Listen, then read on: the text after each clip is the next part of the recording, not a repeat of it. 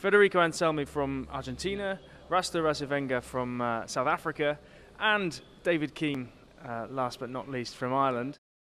Rasta, ba- back in South Africa, are you refereeing both forms of the game, 15s and 7s? Yeah, definitely. Currently involved in the Senior Currie Cup at the moment and refereeing sevens as well. So um, I've got two feet and two pools at the same time.